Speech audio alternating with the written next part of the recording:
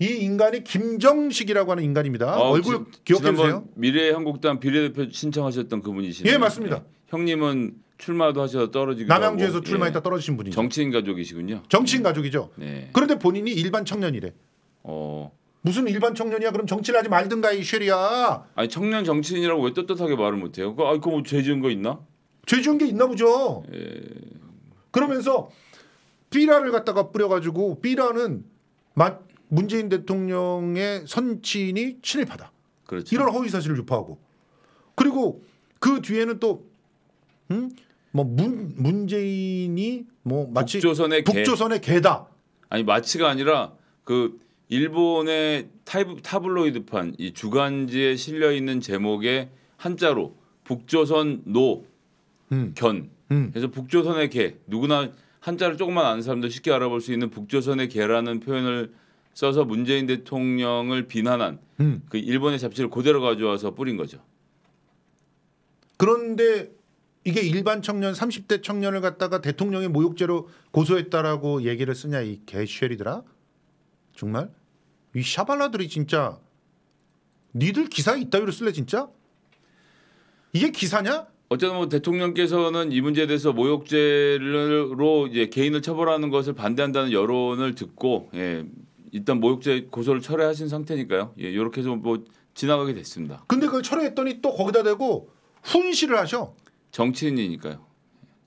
아 출마 예정자인데 계속 그렇게 해야지. 예, 무슨 논란이라도 만들어서 왜 얘가 출 나가는 저게 좋겠다고 정치인인데 정치인이라고 안 쓰냐고 기자들이 이전에 이제 전대협 대변인으로도 활동을 했었고요. 맞아요. 그 전대협은 그 진짜 전- 전대협이란 이름을 쓴 것도 그냥 가서 찢어주고 싶어 진짜. 솔직히 옛날 전대협을 조롱하는 거죠. 예. 그래서 뭐 대표적인 퍼포먼스로는 이 시진핑 가면을 쓰고 문재인 가면을 쓴 이 퍼포먼스 하는 사람이 주저앉아서 개목걸이를 들어서 같이 움직여 다니는 뭐 이런 것들 김근태 요번에 국민의당에서 4번 비례 받은 예. 4번 받은 그 청년도 전대협 소속이었고요.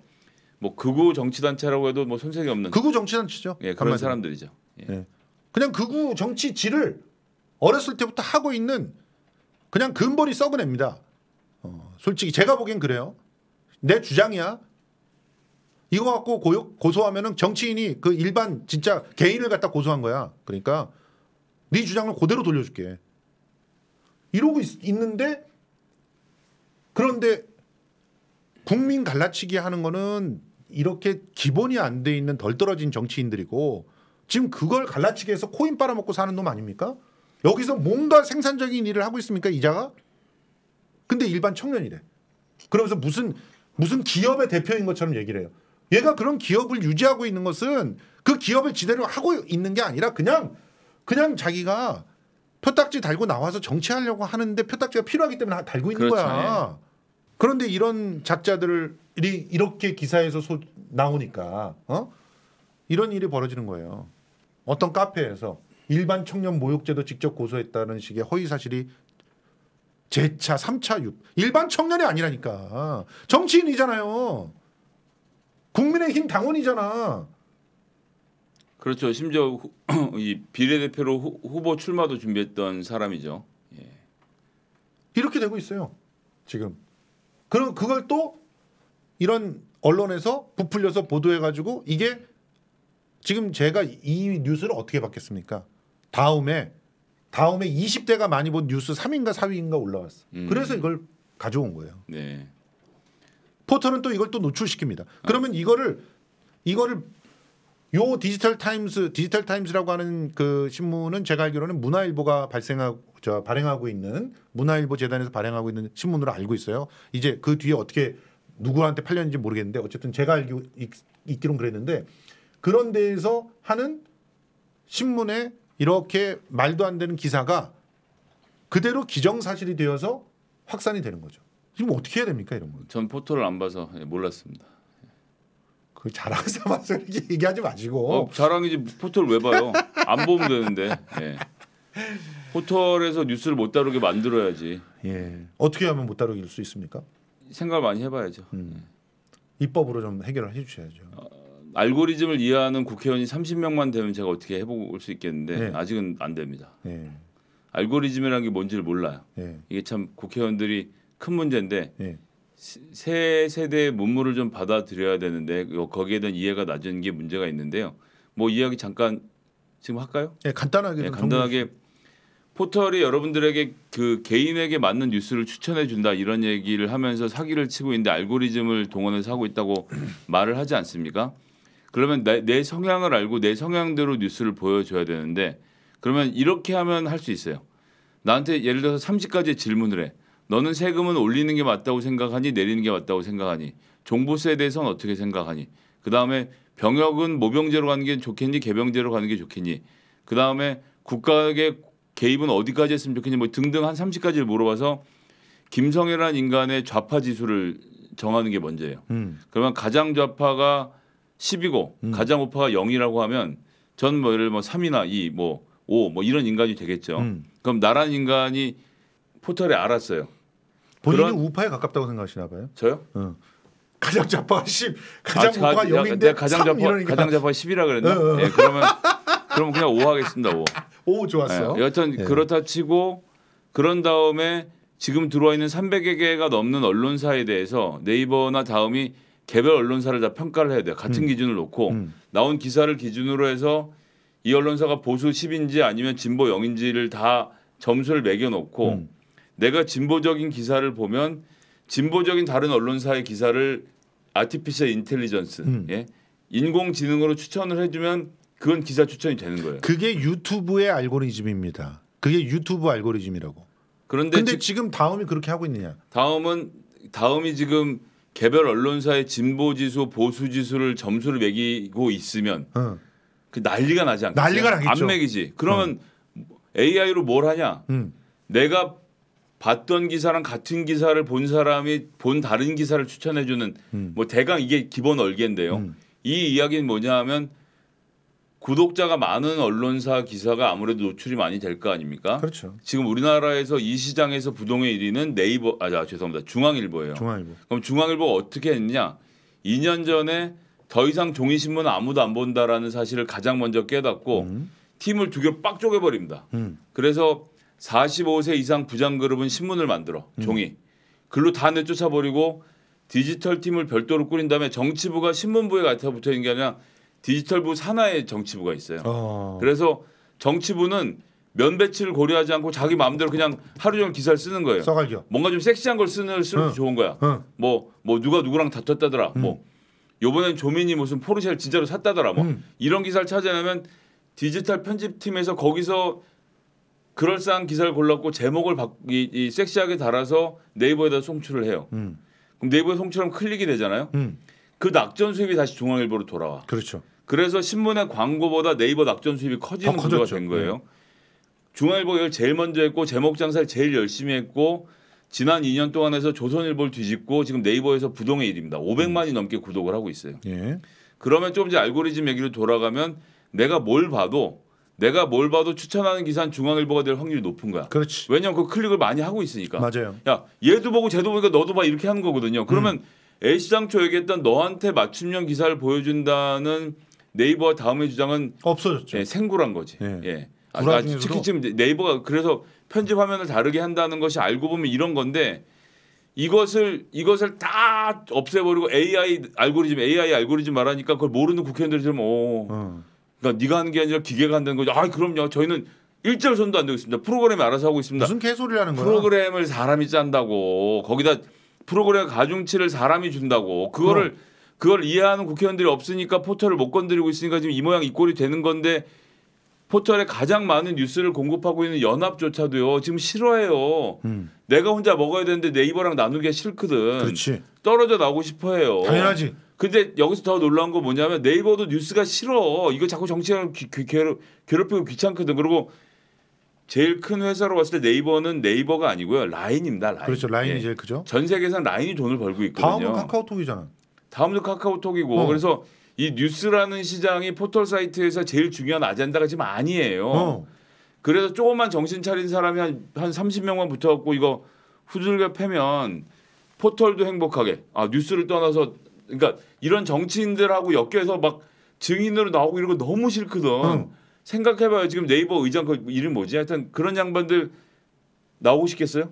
싫죠. 싫거든. 어. 그러니까 뉴스를 빼는 거. 그다음에 연합 등 언론사들도 네이버에다 뜯기는 푼돈을 자기가 가져갈 수 있으니까 좋고 어. 정치도 좋고 이런 이런 식의 사회적 이것도 말 그대로 다 대타협을 이루는 과정이 있어야 되는데 이런 큰 그렇게 되면 사람들이 잘 이제. 신문사들은 망했죠. 신문사까지는 안 망하는데 군소 언론사들은 굉장히 망했죠. 어려운 지경에 처하는데 근데 거- 난 거꾸로 얘기해 보고 싶어요.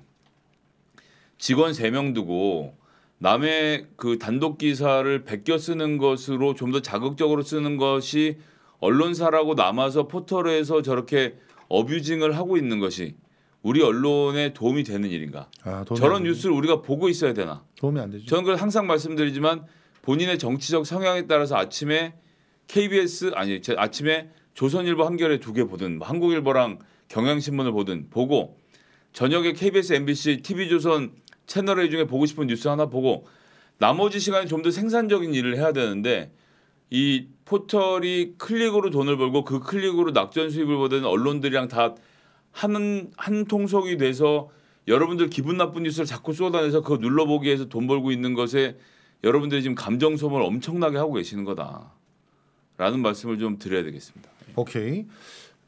사실은 이게 이제 여러 가지 방법이 있어요. 뭐 법으로 어 뉴스를 포털이 다루지 못하게도 할 수 있죠. 이거는 이제 또 아, 뭐전 세계적으로 포털이 뉴스를 다루는 사례가 잘 없어요. 그러니까 아니 그렇게 할 수 있는데 그거는 사실은 그러니까 그 개별 기업의 그렇죠. 어떤 예. 컨텐츠를 선택할 수 있는 권리를 침해한다 이렇게 나올 뭐, 수뭐 있으니까 그럴 수. 예. 아예 그 징벌적 손해배상제라는 게 이제 그런 것인데 포털까지도 같이 집어넣어서 니들이 불량한 가짜 뉴스를 갖다가 옮겼어? 그럼 망해. 이런 식의 그 구조를 만들면 포털이 저절로 알아서 뉴스 서, 서비스를 안 할 거 아닙니까?